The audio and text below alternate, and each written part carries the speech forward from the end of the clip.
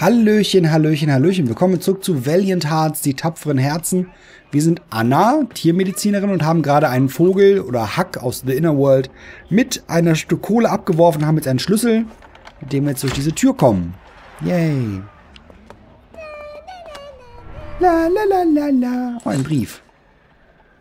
Brief eines belgischen Zivilisten in Paris. Liebe Eltern, wir sind vor den Deutschen geflohen, um unseren Kindern Zuflucht in Frankreich zu finden. Leider rücken die Deutschen immer weiter vor und Paris befindet sich so gut wie im Belagerungszustand. Wenn Paris fällt, werden wir nach Lüttich zurückkehren. Deine liebe Tochter Mathilde. Okay, du hast also nix. Du auch nicht.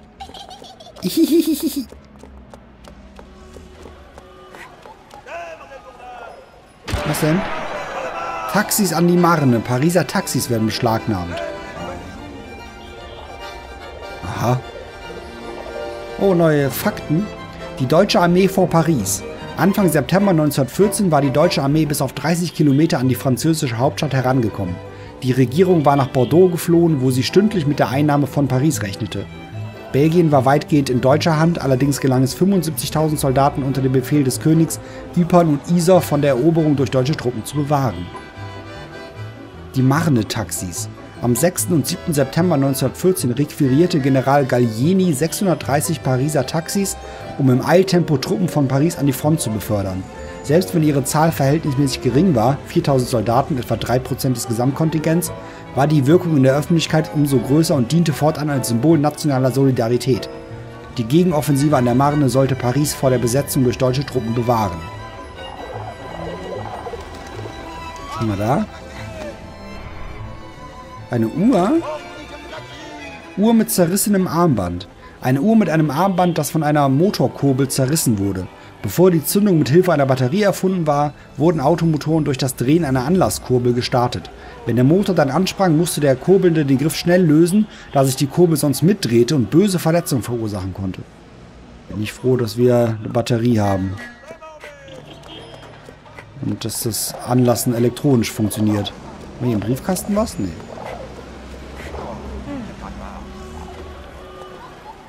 Was will uns das sagen? Hat das Rad kaputt? Oh, hier haben wir einen Schlüssel. Mit einem X. Hier haben wir ein Rad. Wollen wir mal eben das Auto reparieren? Yay. Aber wir haben ja einen X-Schlüssel, der passt ja hier nirgendwo drauf. Da haben wir aber noch was gefunden. Was haben wir denn da Schönes? Zeitungen. Die Hauptinformationsquelle war damals die Zeitung. Radioempfänger steckten noch in den Kinderschuhen und das Fernsehen existierte nicht. Das Internet sowieso nicht. Viele Zeitungen widmeten sich den Ereignissen an der Front in einem eigenen, einen eigenen Teil, der neben die allgemeinen, der neben die allgemeinen Meldungen und den Lokalteil trat. Außerdem wurden in einigen Blättern tägliche Listen der Kriegsgefangenen und Gefallenen veröffentlicht. Wow. Er braucht Wasser. Okay. Ah, oh, ah. So, dann nehmen wir mal den Schlüssel. Für den Wagenheber. So. Die Motorhaube braucht Wasser. Das heißt, wir brauchen eine Flasche oder sowas und dann müssen wir dahin. Aber wo haben wir denn was?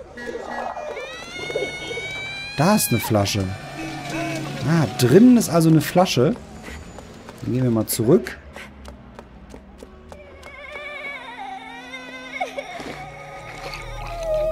Wir machen dich Aua wieder gut. Was? Oh, was ist das denn für ein Minigame? Okay. Ich hab's scheinbar richtig gemacht. Yay! Ah, darf ich jetzt die Flasche haben? Danke.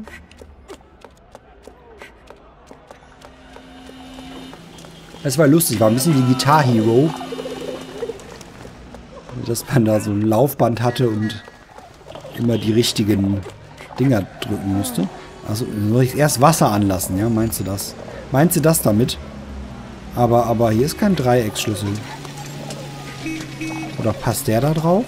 Ah ja, doch, der passt da drauf. Okay, dann machen wir halt erst Wasser an, holen dann die Flasche. Ich hätte erst die Flasche drunter gestellt, von wegen Wasserverschwendung und so. Aber gut, Anna macht es anders. So, dann tun wir hier Wasser rein. Ach, und wir fahren jetzt. Ah, na klar, sie hat ja Freddy und die anderen alle mit dem Auto abgeholt. Natürlich musste sie auch mit so einem Auto fahren. Oh, schon wieder so ein Spiel. Geil.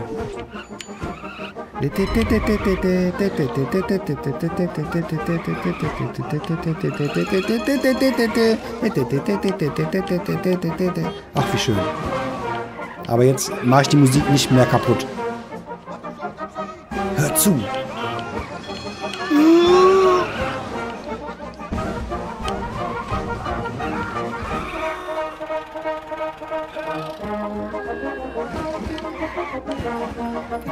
Ich kann nicht anders.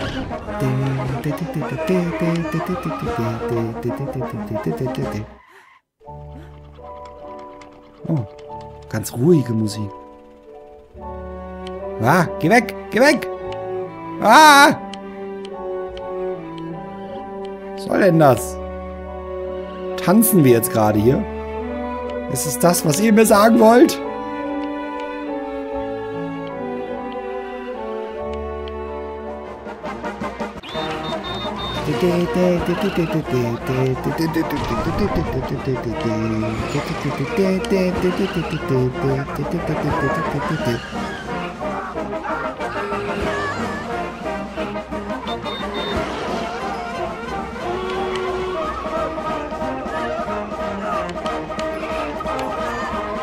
Ne?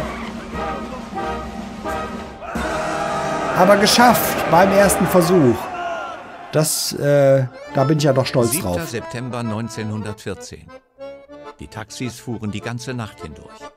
Anna war stolz, Soldaten an die Front bringen zu können. Als ja. Anna schließlich ihr Ziel erreichte, erblickte sie die schreckliche Realität mit eigenen Augen. Mhm. Das glaube ich, dass das kein cooles Erlebnis ist. Gibt es hier links auch was?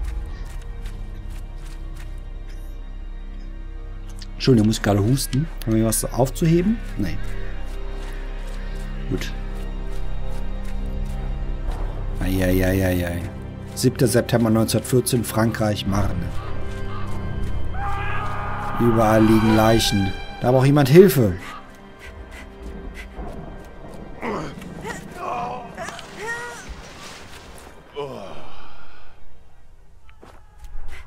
Kann ich noch weiterhelfen?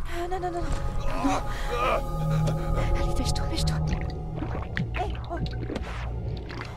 Lass mich schon andere Tasten drücken. Wird immer komplizierter.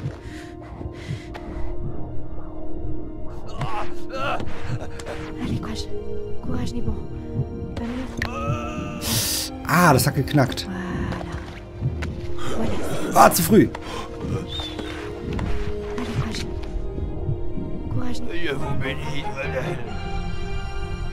Wir haben ihn gerettet.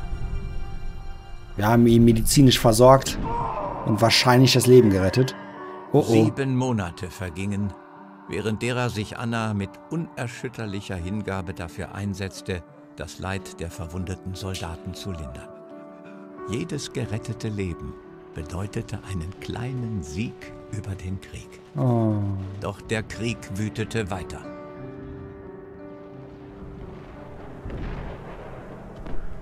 Oh nein. 22. April 1915, Ypern, Belgien. Was ist los? Okay, da lang. Da braucht jemand Hilfe. Zwei, drei. Okay. Neues Tagebuch. Das lesen wir natürlich erst. 7. September 1914. Die Lage hier ist entsetzlich. Gestern war ich noch in meiner warmen, gemütlichen Wohnung und jetzt bin ich in den Tiefen der Hölle. So viele sind tot, so viele junge Leben verloren. Heute Morgen konnte ich einen Soldaten retten, aber es gibt so viele, die gepflegt werden müssen. Morgen versuche ich, näher an die Front zu kommen, damit ich den Bedürftigen helfen kann. Den Bedürftigsten sogar helfen kann.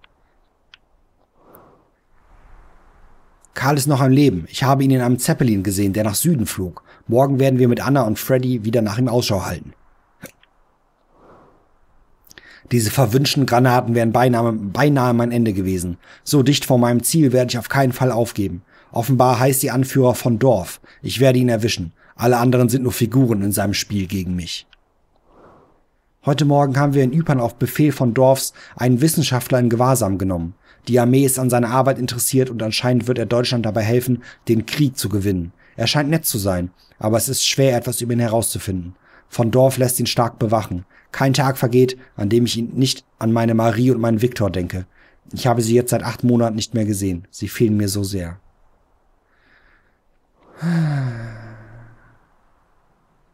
Das hatten wir, glaube ich, schon.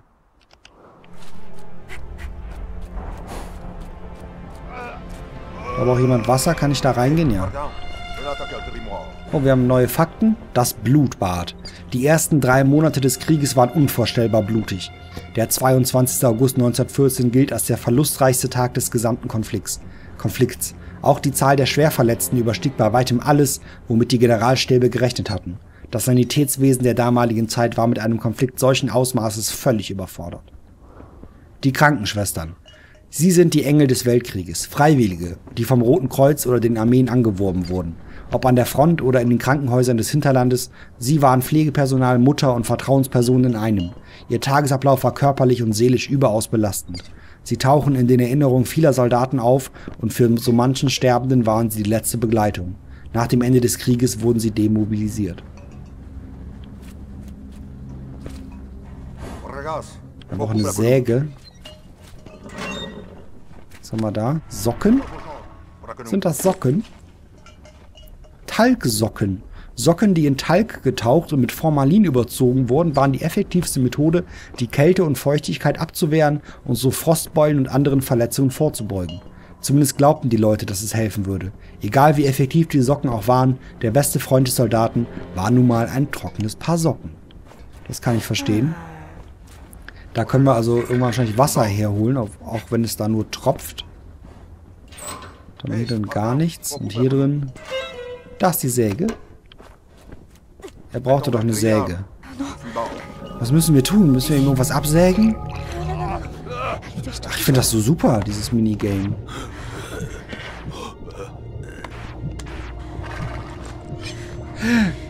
Was sägt sie ihm denn ab? Ach, scheiße, falscher Taste. Sägt sie ihm den Arm ab?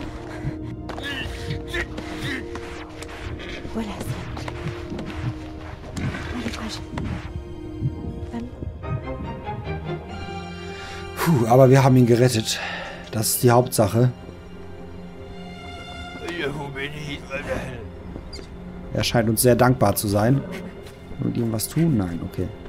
Dann gehen wir wieder raus. Hier wartet schon jemand auf Wasser. Hier ist die Flasche. Gehen wir doch mal schauen, ob wir da irgendwie hier irgendwie Wasser rauskriegen. Kann ich denn da mit diesem, diesem Rohr nichts tun? Das blinkt so. Da braucht jemand eine Krücke. Ich komme hier aber nicht raus. Nee. Okay, wir stellen die Flasche erstmal drunter. Oder warte, kann ich hier dagegen hauen oder so? Ja. Aber da passiert nichts. Da fehlt irgendwas scheinbar noch. Vielleicht so ein, so ein Ventil oder irgendwas. Moment, gehen wir erstmal nach links. Wer ruft denn hier nach, nach einer Krücke? Da ist Wasser. Brauchst du Hilfe? Nee. Doch, du brauchst eine Krücke. Ah, und hier... Ah. Wunderbar. Flasche ist voll.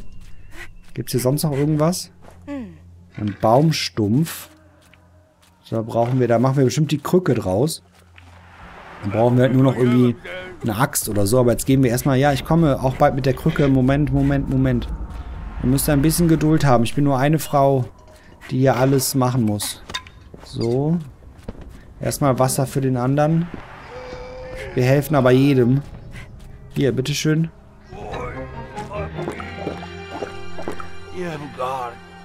Gern geschehen.